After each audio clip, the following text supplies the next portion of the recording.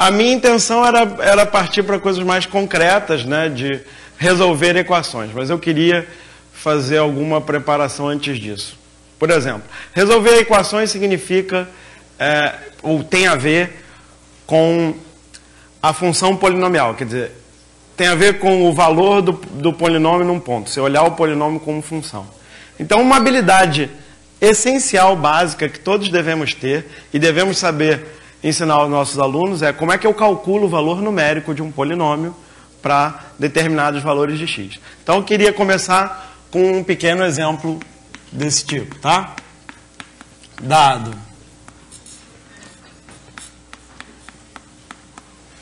p de x igual uh,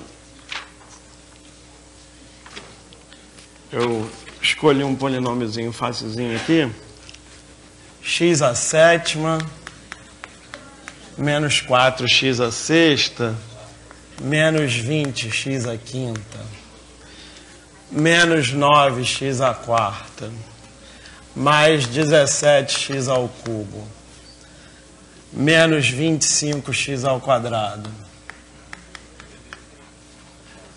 mais 33x, mais 62. E que eu gostaria que vocês fizessem é calcular P de 7. Então, é, seria legal vocês fazerem isso agora para a gente conferir a resposta. Então, podem começar.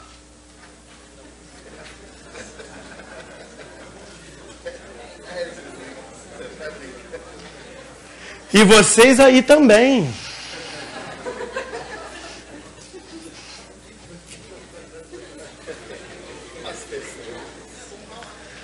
Não, mas não é brincadeira, não, é sério.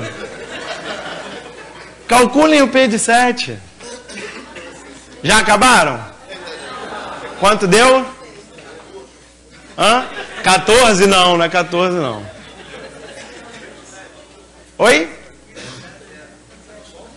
Não, não é zero não. Quem achou aí? Ih, alguém tirou a calculadora do bolso agora. Agora vai sair, hein?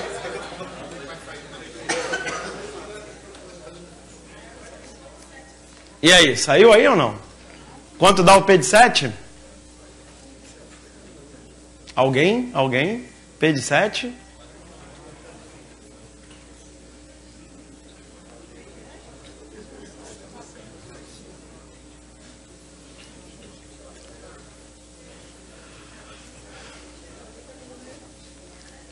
Bom, eu gosto muito desse exercício, eu gosto de começar minhas aulas sobre polinômios com isso aqui, porque é, boa parte dos alunos começa a calcular 7 a sétima, 7 a sexta, 7 aqui. Boa parte não, na verdade uma parte pequena. Mas. Oi?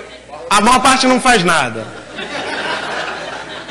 Mas boa parte dos alunos que, que, que estão interessados, que querem aprender e que tem. Né, a gente falou um pouco sobre isso ontem na sessão de, de problemas. Né? A gente teve um exemplo de de garra, de perseverança e tal, que é muito importante. Quando você não vê outra solução, você faz as contas. Agora, para fazer isso aqui, tem um jeito muito, muito mais fácil do que ficar elevando 7 a sétima, 6 a, 7 a sexta, etc., e fazendo todas essas multiplicações aqui. Que é algo que talvez você já tenha ouvido falar, que é o algoritmo de Brio-Ruffini. Então, você pega o polinômio, põe os coeficientes aqui, 1, menos 4, menos 20, menos 9, 17, menos 25, 33 e 62. Claro que eu preparei um pouco esses coeficientes para a conta ficar ainda mais fácil, para impressionar mais vocês ainda. É, e faz o algoritmo Brofini, aquele mesmo que o Paulo mostrou para vocês hoje. 7, 7 menos 4, 3, 21 menos 20, 1. 7 menos 9 menos 2, menos 14 com 17, 3. 21 menos 25 menos 4. Menos 28 com 33 é 5. 35 mais 62, 97. E aí, acreditem vocês ou não, o P de 7 vale 97. Não deu tanto trabalho assim como vocês pensavam, né? Certo? Esse aqui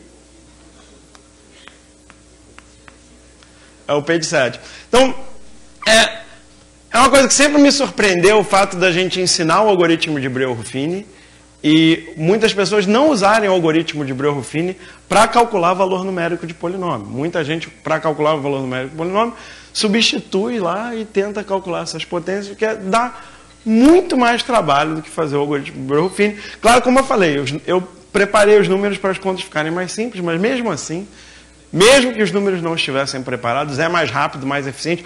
Para os computadores é muito mais eficiente fazer assim do que calcular as potências. Tá? Ah, agora, por quê? Por que, que isso aí é o P de 7? Qual a justificativa? É, o resto da divisão. Né?